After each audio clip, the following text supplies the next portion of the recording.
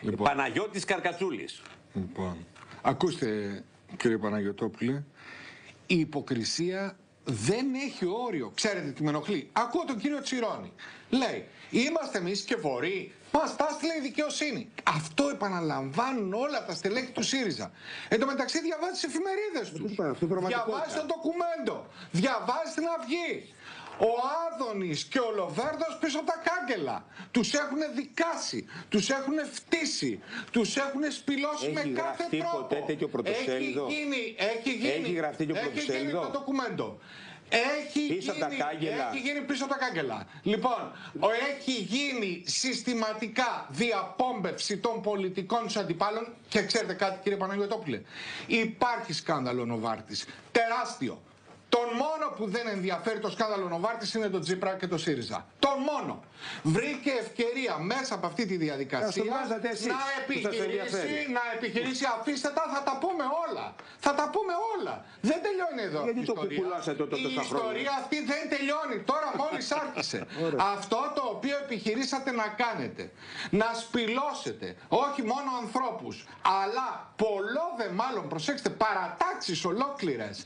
Ξέρετε κύριε Παναγιωτόπουλε, αυτό που βλέπει κανείς μπροστά είναι ότι προσπαθεί να σπηλώσει το Λοβέρδο. Σωστά. Ναι. Από πίσω από αυτό όμως βλέπετε τη μεγαλύτερη εικόνα.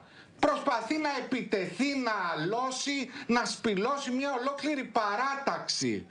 Αυτό λοιπόν προσπαθεί να το κάνει ο κύριος Τσίπρας μαζεύοντας δόθε κήθε διάφορα πολυφάδια της πολιτικής και δημιουργώντας ένα ακόμα καρτέλ κύριε Παναγιωτόπουλε. Δεν είναι ο ΣΥΡΙΖΑ που βάζει ξέρατε αυτό, το κόμμα καρτέλ. των αριστερών δίθεν τάχα μου.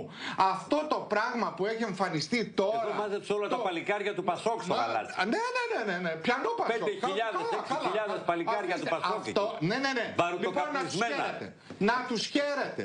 του ανήκουν να πάρει και τους υπόλοιπους. Με τα χαράς. Αν υπάρχουν κι άλλοι τέτοιοι, να ψάξει στο σκουπιδοτενεκέ της ιστορίας να τους βρει και να τους πάρει. Με τα χαράς. Ξανά στο σκάνδαλο Νοβάρτης. Πείτε μου, ισχυρίζεται λοιπόν ο ΣΥΡΙΖΑ, ισχυρίζεται η κυβέρνηση και λέει εγώ δεν ξέρω τίποτα. Ό,τι πει η δικαιοσύνη. Κύριος Παπαγγελόπουλος, είναι ή δεν είναι μέλος της κυβέρνησης πρώην εισαγγελέας; Είναι ο άνθρωπος που βγήκε και διείπε στεντορία φωνή.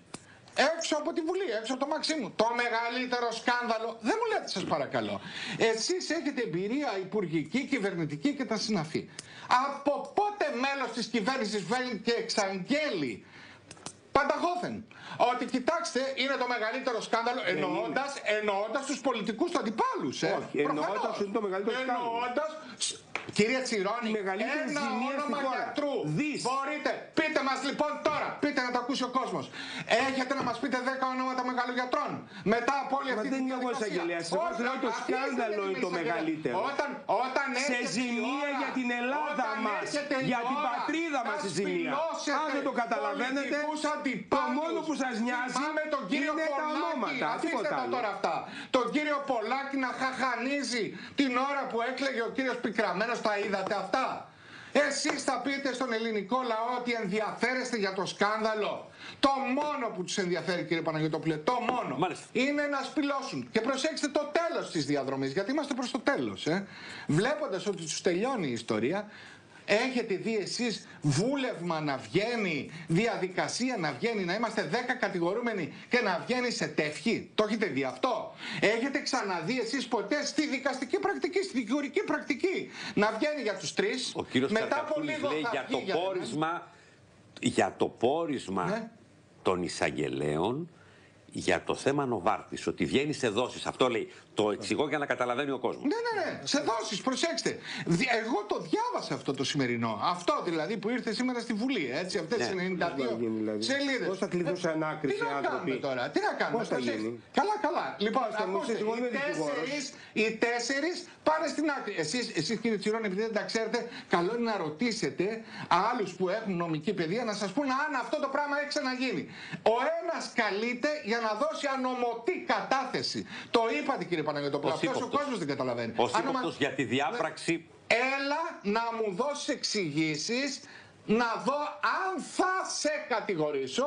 Διότι Και αν δεν μεταξύ- πιστώ, θα σου ασκήσω Ε, ποινική έτσι, δίωξη. μπράβο. Βγαίνει, Αυτό λοιπόν, σημαίνει ανομωτή ο κατάθεση. υπουργός της Δεν θα κυβέρνησης- ορκιστεί. Μπράβο.